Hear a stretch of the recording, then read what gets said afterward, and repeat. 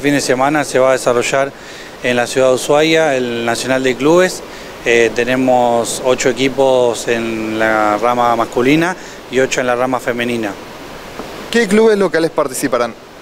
En los clubes locales tenemos Huaquén de Río Grande, eh, Ñires de Ushuaia, el Colegio del Sur de Ushuaia y el Ushuaia Rugby Club también de acá de Ushuaia.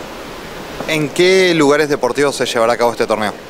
Este torneo se va a llevar en dos escenarios deportivos. La cancha 1 va a ser eh, el Ushuaia Rugby Club y la cancha 2 va a ser el Gimnasio Petrina. Todos estos torneos vienen a través de la Confederación Argentina de Hockey y bueno, a través de la Federación de Tierra del Fuego, ellos llevaron adelante todo el fixture y la organización.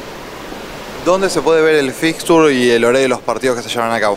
Eso ya está publicado en la página de la Federación de Tierra del Fuego y nosotros en breve vamos a compartir también desde la Secretaría de Deportes. Además tenemos la suerte de que los equipos nacionales estarán dentro de la provincia. Sí, eso hay que destacar que va a venir entrenador de la selección nacional de hockey pista y la semana que viene, en el transcurso de los días, desde el lunes hasta el jueves, van a estar entrenando también en el Petrina el seleccionado masculino como el femenino también.